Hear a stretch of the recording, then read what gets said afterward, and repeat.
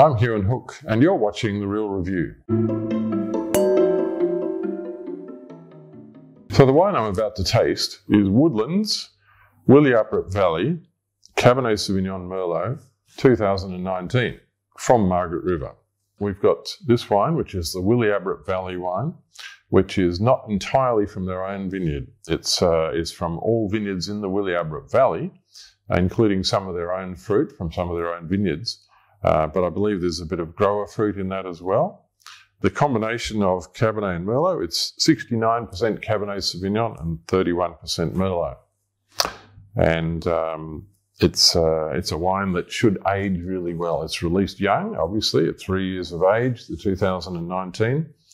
Um, and it's designed uh, as to be approachable when it's young, but also to, to take a lot of age really well.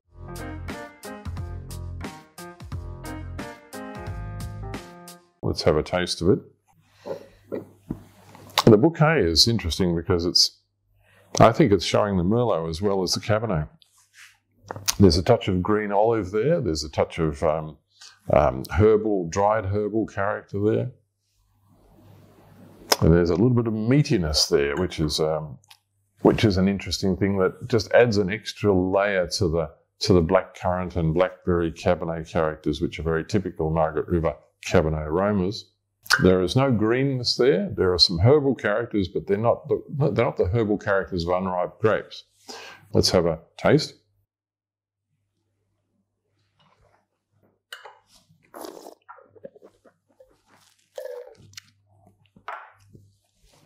Very, very intense, bright, fresh, youthful, vigorous wine. Really quite a a, a, lot of lot of pizzazz in that wine. It's really got a lot of get up and go.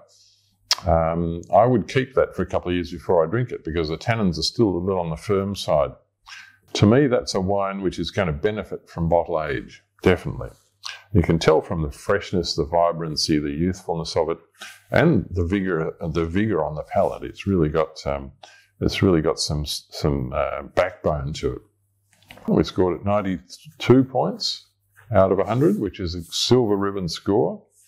And we've said uh, drink it, ideally, keep it for a year, at least a year, I would keep it for, and then drink it for at least 12 years, probably 15, uh, as long as it's been well cellared.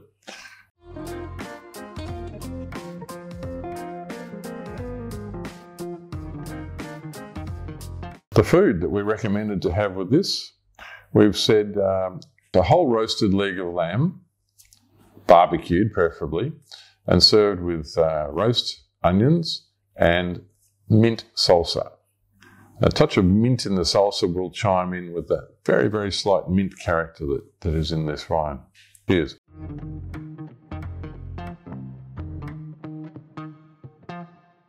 If you've enjoyed this, follow us and subscribe to The Real Review.